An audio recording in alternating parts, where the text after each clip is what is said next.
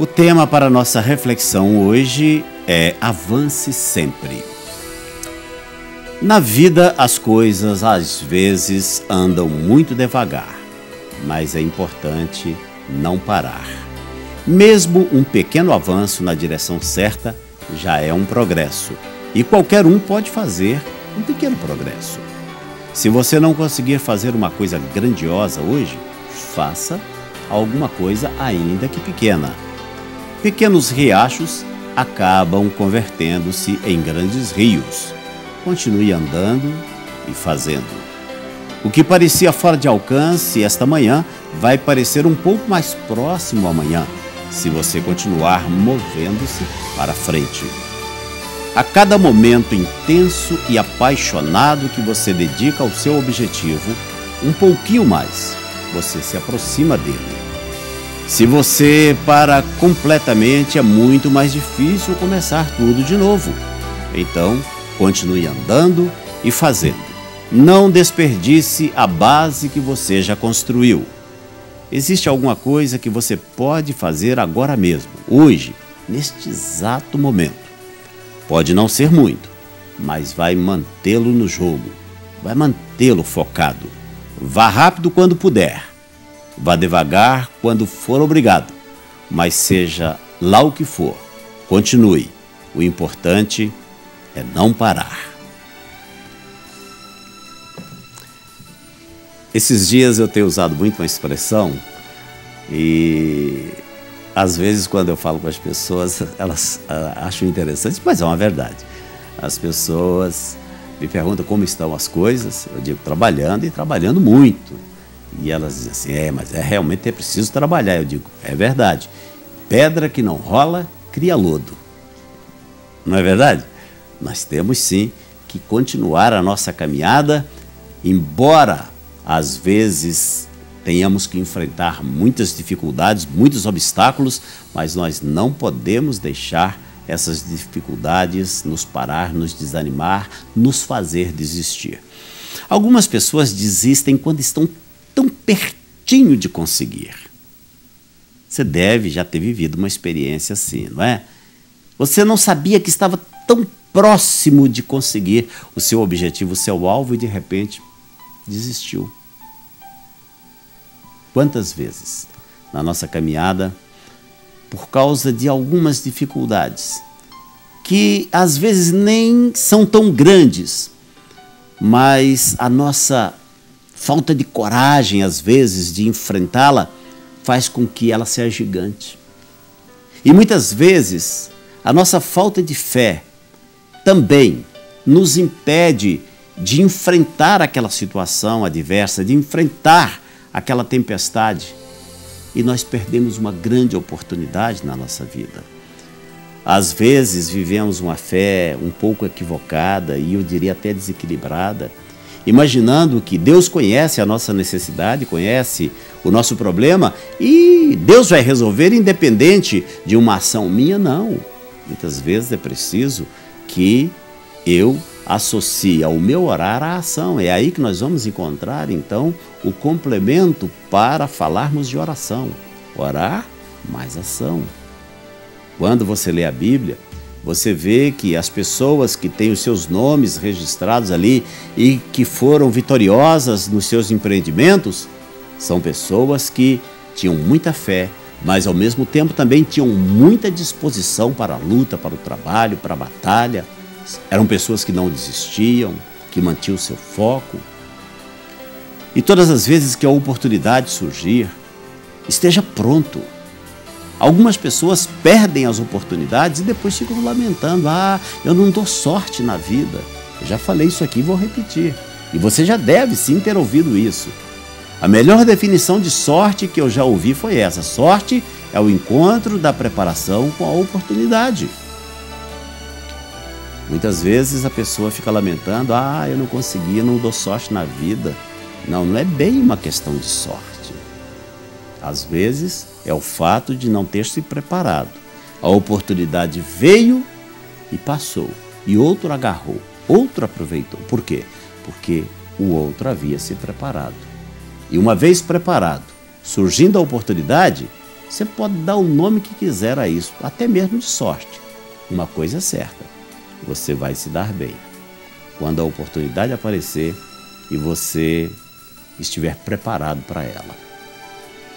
Eu já contei uma história aqui no programa, uma experiência minha de vida, que quero contá-la novamente. Me lembro que na época que contei, abençoou muitas pessoas. E eu vou contar essa experiência agora, especialmente para aquelas pessoas que, quem sabe, elas estão diante de uma oportunidade, mas estão acreditando que as coisas vão acontecer sem que da parte delas seja exigido algum esforço ou nenhum esforço.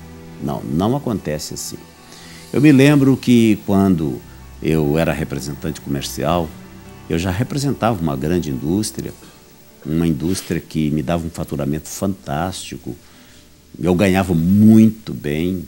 Todos os meses a minha comissão era altíssima, porque era realmente uma indústria que tinha um produto que vendia, sabe? Eu não precisava fazer força para vender, de tão bom que era. Mas eu me lembro que eu queria crescer mais na minha área de representação e buscava novas oportunidades, novas fábricas para representar. E um dia eu abri um jornal aqui em Belo Horizonte e lá estava o anúncio bem grande de uma indústria de São Paulo. E aquela indústria estava procurando um representante para Minas Gerais. Eu me lembro que lá tinha o telefone e o nome da pessoa. Eu telefonei. E naquela ocasião eu falei com o diretor que era o diretor industrial, não era o diretor comercial, o senhor Thomas Kulikowski, que se tornou um grande amigo meu. Eu liguei para ele e disse: Senhor Thomas, eu estou ligando porque estou vendo aqui um anúncio, vocês estão buscando um representante aqui em Minas Gerais e eu estou me apresentando como candidato. Ele disse: Muito bem, várias pessoas já telefonaram daí hoje e eu pedi a elas que enviassem o currículo, faça o mesmo, me mande o seu currículo. Eu disse: Está muito bem, seu Thomas, vou mandar. À noite, eu peguei um ônibus leite naquele mesmo dia e amanheci na porta da indústria lá do seu Thomas. Cheguei, estava tudo fechado ainda, bem cedinho. Daí a pouco os funcionários foram chegando e em seguida chegou o seu Thomas. Me apresentei a ele e disse: Seu Thomas, meu nome é Vanderlei, eu sou de Belo Horizonte, eu liguei para o senhor ontem e o senhor pediu para eu mandar o currículo e eu vim.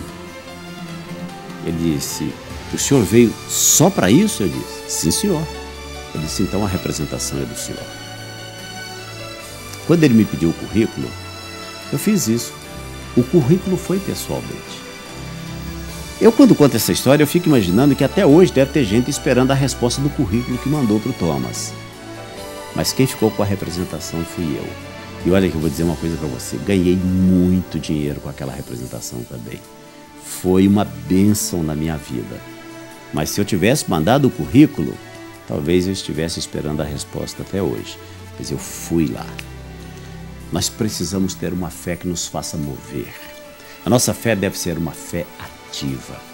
A nossa fé deve ser uma fé que não nos deixa prostrados, assentados, acomodados, mas uma fé que nos faz levantar, que nos faz caminhar na direção de alcançar, de conquistar, de buscar, de alcançar aquilo que Deus está nos dando de oportunidade. E isso vale para todos nós, para qualquer um de nós. Os desafios estão aí. O prêmio está do outro lado do desafio. Se você estiver disposto a enfrentar o muro de dificuldade que está colocado entre você e o que você quer, com a ajuda de Deus você vai conseguir.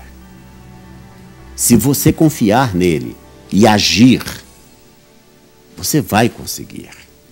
Isso vale para qualquer área da sua vida. O que você não pode é ficar de braços cruzados, esperando que caia no seu colo, porque não vai acontecer assim não.